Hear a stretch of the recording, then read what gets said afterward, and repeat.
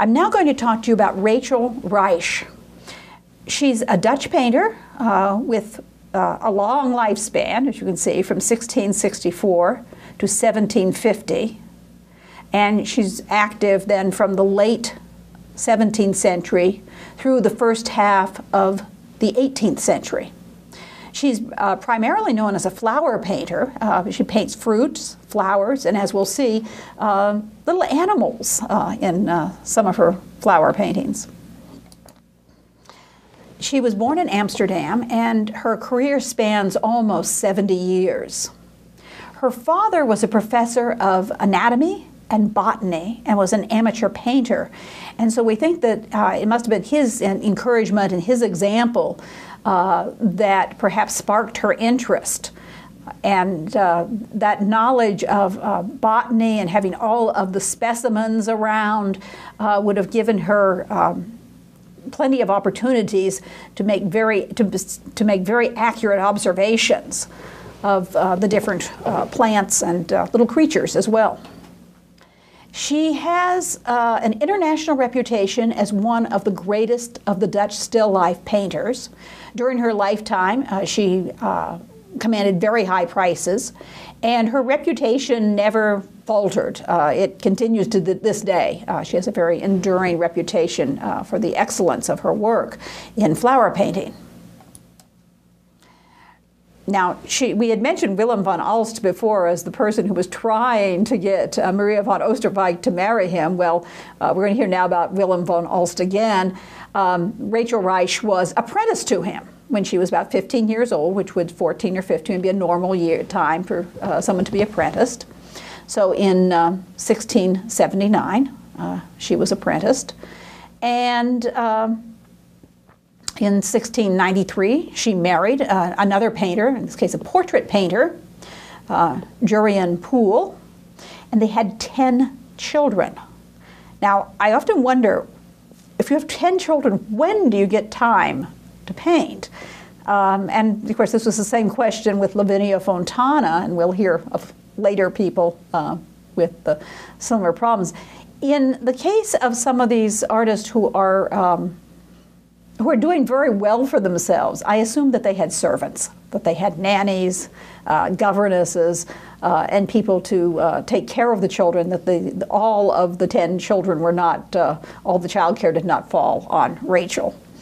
Um, in 1701, they moved to Den Haag, The Hague, uh, where they joined the Painters Guild.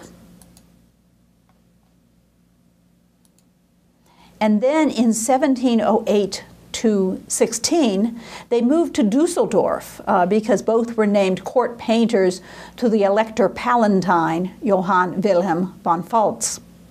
Um, and uh, then he died, and uh, the, the couple returned to Amsterdam. There's close to 100, 90 some works uh, that are signed by Rachel Ruysch.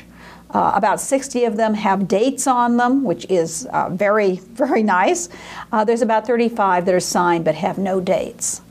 And so um, as we're looking at some of these, you'll see little um, um, bits of information at the bottom that tell you the museum in which the painting uh, is and if there is a date attached to it, what the date is. And so as you can see, this is from the Detroit Institute of Art uh, and is dated 1704.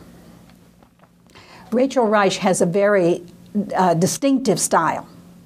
Uh, not only are her flowers very accurate, uh, but also she has very dramatic compositions. They're frequently based on a diagonal movement, uh, and sometimes also a kind of S or reverse S curve. Uh, she uses a lot of curving forms in her uh, compositions. And of course, you can see this here uh, with uh, the stems.